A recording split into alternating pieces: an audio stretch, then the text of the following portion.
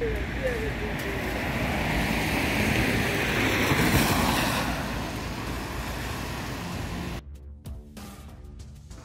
şəhərində uzun illərdir su problemi yaşayan köhnə şəhər yaşayış massivi sakinləri bu gün həm sevinir, həm də kədərlənir.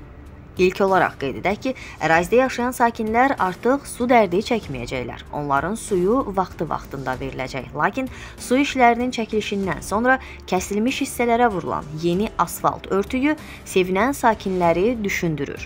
Düşündürdükcə kədərləndirir. Çünki bundan öncə də vurulan asfalt örtüyü çöküb, aşınıb, vurulması qısa zaman keçsə də dağılıb. Bildiyimiz kimi sifarişçi Azərsu olsa da iddialara görə işləri aparan fərqli şirkətlərdir. Məlumata görə bir şirkət su çəkilməsi işlərinə baxır, digər şirkət isə kəsilmiş və dağılan hissələri asfalt örtüyü ilə üzləyir. Sakinlər bildirir ki, yolun bütöv hissələrinə öncəki illərdə asfalt örtüyü tam şəkildə vurulsa da, asfalt kəsim işlərini aparan şirkət yol kənarlarını kobud şəkildə kəsib çıxarıb və asfaltlama işlərini düzgün etməyib. Videoda da görünür ki, aparılan işlər nə vəziyyətdədir.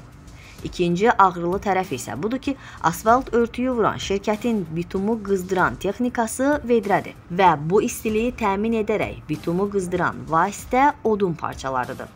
Bəli, 21-ci əsrdə hələ də odunla işlər görülür. Üstəlik də bu addımla ekologiyanı çirkləndirirlər.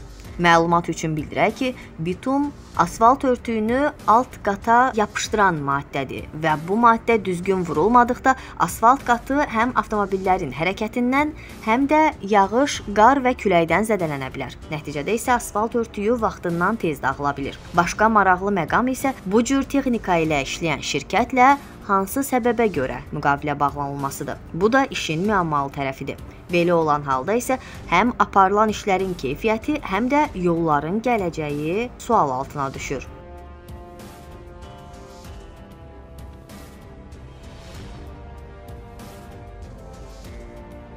Qeyd edək ki, məsələ ilə bağlı qarşı tərəfin də mövqeyini işıqlandırmağa hazırıq.